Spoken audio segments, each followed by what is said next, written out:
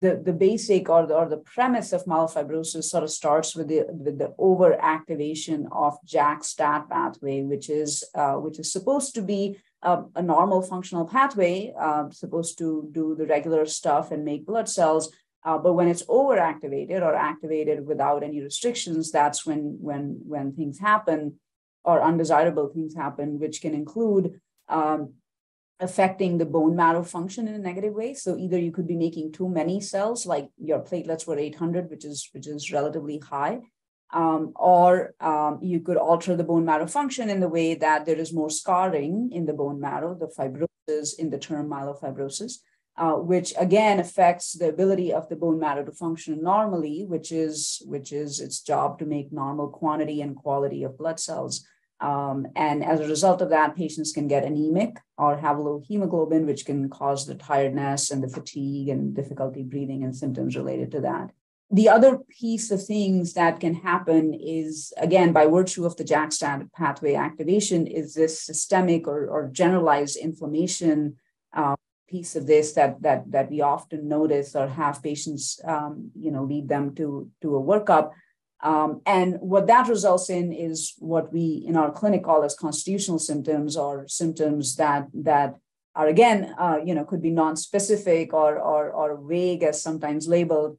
Uh, but those can include things like night sweats, things like um, uh, low appetite resulting from, uh, or other symptoms resulting from an enlarged spleen, um, abdominal discomfort and and and and and so forth, which are again other symptoms that can sometimes lead to uh, lead to further investigations clinically.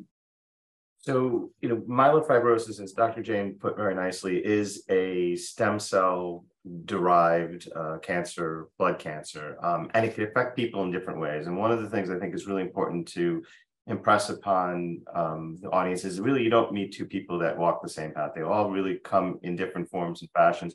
Their clinical picture can really vary, and then their course can be quite heterogeneous and variable too. So you really have to sort of understand the patient that you're dealing with and what might be those patient-specific uh, goals of therapy. For some patients, it could be alleviation of anemia.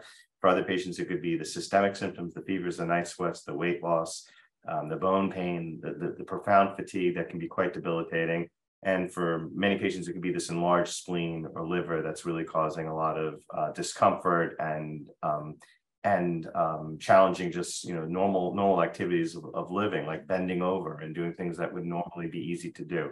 So, sort of knowing how the disease is affecting the patient really um, informs and dictates how you know how best to approach the patient. So, it's typically um, trying to alleviate the symptomatology and reduce the spleen, and th- that's usually using uh, JAK inhibitors. And cytokine driven symptoms that Dr. Jain explained are a result of this JAK-STAT pathway. So these drugs are great in reducing a lot of that inflammatory cue that makes patients feel terrible and awful and improves their their sense of well-being, their functionality, reduces their spleen so they can eat more comfortably and you know wear pants more comfortably, things that we kind of take for granted.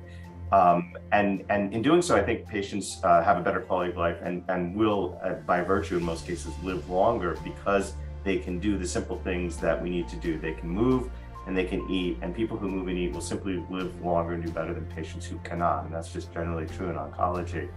Um, so they have really revolutionized, I think, particularly the quality of life aspect. So I think we have a great armamentarium today that covers lots of different types of patients to improve the symptoms and improve that quality of life.